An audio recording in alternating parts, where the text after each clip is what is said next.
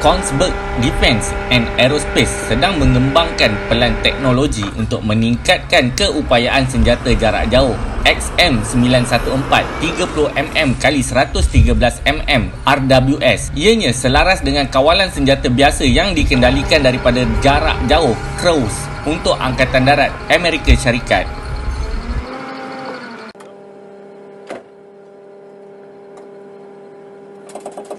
Dikatakan lebih daripada 12,000 sistem cruise yang sudah ada di dalam inventory Tentera Darat Amerika Syarikat dan akan ditingkatkan di bawah program refresh teknologi yang dianugerahkan sebelumnya.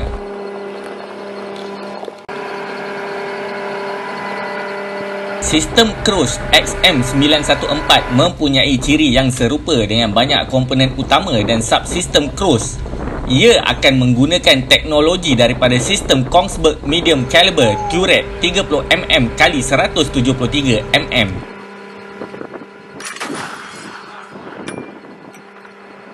Ia juga akan mendapat manfaat daripada pakej data technical cruise yang dilesenkan kepada kerajaan Amerika Syarikat dan rangkaian bekalan cruise yang luas, kata Kongsberg.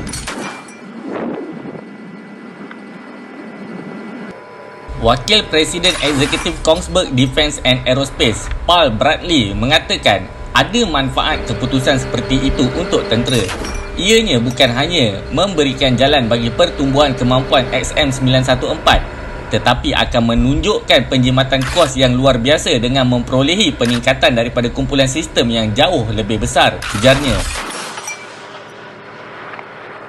Bradley menambah penawaran Kongsberg dengan harga berpatutan untuk 30mm x 113mm adalah satu-satunya penawaran industri yang dapat memanfaatkan teknologi, logistik dan juga pelaburan pembangunan yang luas.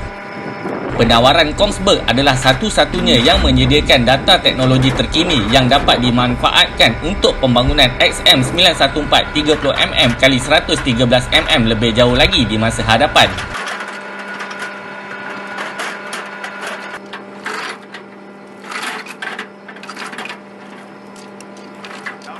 Look, look.